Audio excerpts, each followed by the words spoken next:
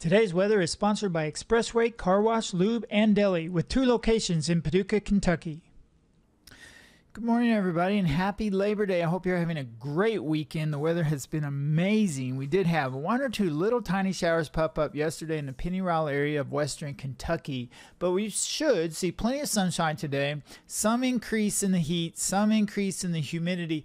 Uh, and that could lead to a couple of widely scattered showers and thunderstorms forming today is that warmer air, that more moist air moves up from the Gulf of Mexico that I talked about yesterday. Did not think we would have to put rain into the forecast, but it does appear at least a 2 in 10 chance, a 2 in 10 chance at any given spot of a passing shower or thunderstorm, especially later today at the heat of the day. So I do think we'll see some on radar. Check radars from time to time. We look at dew points this morning. Remember yesterday I told you here they come. They're coming up from Louisiana. They're coming up from Mississippi. They're coming up from Alabama. And you can see here 70 dew points all the way now into central and northern Illinois all the way back to the Gulf of Mexico. This is the air that feels more uncomfortable when you step outside this morning.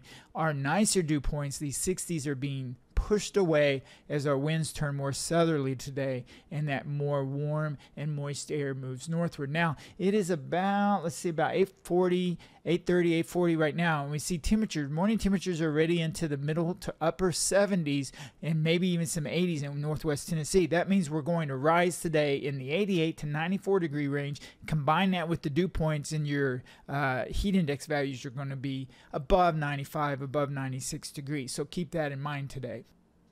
Okay, let's just take a look at Futurecast radar here. This is the HRRR model. It does fairly well. As we move into the morning hours, you don't see much going on, and uh, we get into the afternoon and peak heating of the day, and we stop it here at about 2 o'clock, 3 o'clock, and you see some widely scattered showers that pop up on radar. I cannot rule out a shower or thunderstorm today. Yesterday, it looked like we would remain dry, but we did even have one or two little showers that formed over the Pennyrile area yesterday evening, and at the peak heating of today, one, two, three, four o'clock, we might see some of those cumulus clouds bubble up just enough to produce widely scattered showers and thunderstorms.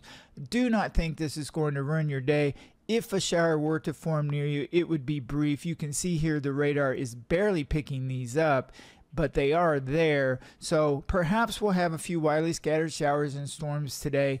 And then as we move through the evening hours, we lose the heating of the day again and everything dissipates. There's really not anything to lift the air here hardly. There's no cold front, no warm front, no area of low pressure. This is just simply because of the heat of the day, the higher dew points, and we're on that what we call the tongue of higher moisture moving up from the Gulf of Mexico that I talked about yesterday. And sometimes when that happens, you will get a couple of showers and thunderstorms develop.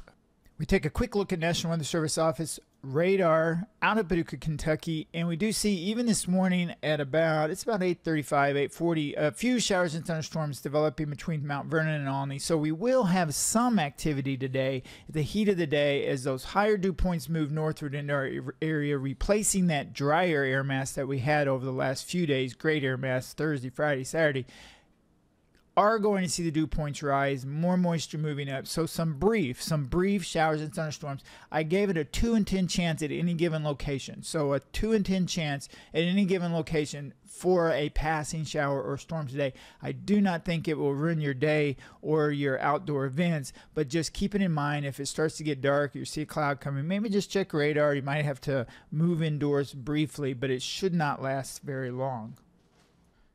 Okay, then let's wrap this up. Today's forecast partly sunny sky conditions, hot and humid, a little more humid than yesterday. Heat index values will pop above 94, 95 degrees. Actual air temperatures 86 to 94 today. We will have a 2 in 10 chance at any given location of a shower or thunderstorm. Passing shower or thunderstorm will not rain all day at any given spot, just a passing chance.